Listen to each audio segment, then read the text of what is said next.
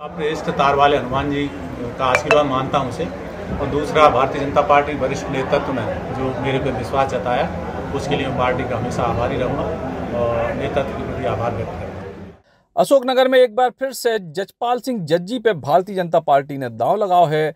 भाजपा ने उनके टिकट को ऐलान कर दो है। सुप्रीम कोर्ट से जाति प्रमाण पत्र मामले में बड़ी राहत मिलने के बाद उनको टिकट मिलवो तय होगा तो और अब टिकट मिलवे के बाद जजपाल सिंह जज्जी का बोले हैं।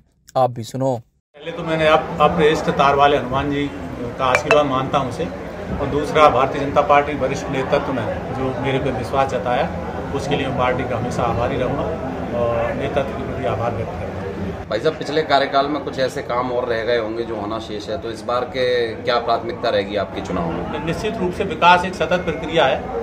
और जैसा कि पिछली बार आप सबको पता कि कोरोना की महामारी की वजह से विकास कार्य बहुत सारे जो हो सकते थे वो नहीं हो पाए। लेकिन अब मुझे विश्वास है कि जनता भारतीय जनता पार्टी को निश्चित रूप से आशीर्वाद देगी और पुनः भारतीय जनता पार्टी सरकार बनेगी। चूँकि तो, विकास के मुद्दे पे चुनाव लड़ा जाता है तो क्या एक बार फिर से आप विकास का मुद्दा नहीं नहीं बिल्कुल। भारतीय जनता पार्टी का विकास के मुद्दे पे चुनाव लड़ती है।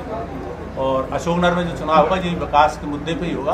और पिछले कार्यकाल में जो विषम परिस्थितियों में सबको पता है प्रदेश की देश की विश्व की अर्थव्यवस्था ध्वस्त हो गई तो उसके बावजूद उन विषम परिस्थितियों में जो विकास अशोकनगर विधानसभा में हुआ है, वो लोगों ने देखा है तो उसमें उसके बावजूद जो विकास हुआ, इसके पहले कभी नहीं हुआ। और अब दोबारा से जनता यदि मुझे मौका देती है तो निश्चित रूप से जो काम, बहुत सारे काम जो संकल्प हमने लिए हैं, वो उनको पूरा करेंगे।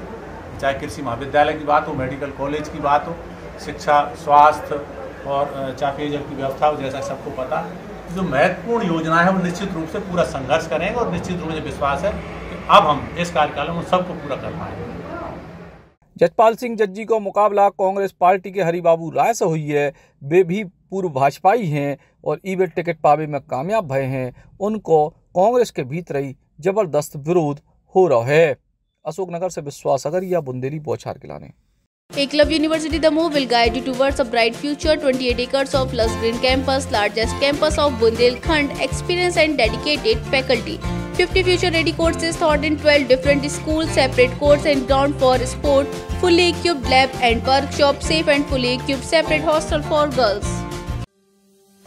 Sri Krishna University Chhatarpur the high tech university in central India Bundelkhand के लिए। गौरव की बात है कि अब छतरपुर में हम आपको देंगे विश्व स्तरीय एजुकेशन सिस्टम और वर्ल्ड क्लास इंफ्रास्ट्रक्चर कोरोना जैसी महामारी के दौर में अब महानगरों की भीड़ भाड़ अत्यधिक खर्च से बचे तथा अपने घर एवं अपने शहर में रहकर ही विश्व स्तरीय रोज़गार उन्मुखी शिक्षा को प्राप्त करें और महानगरों में होने वाली परेशानी से बचे, क्योंकि कोरोना ने हमें सिखा दिया है कि हम महानगरों में सुरक्षित हैं या अपने शहर और घर में। इसीलिए श्री कृष्णा विश्वविद्यालय आपको देगा राष्ट्रीय शिक्षा नीति 2020 के अनुसार तैयार पाठ्यक्रम और कोर्स में प्रवेश के अवसर। सर्वोत्तम निर्माण के लिए माई सेंसमेंट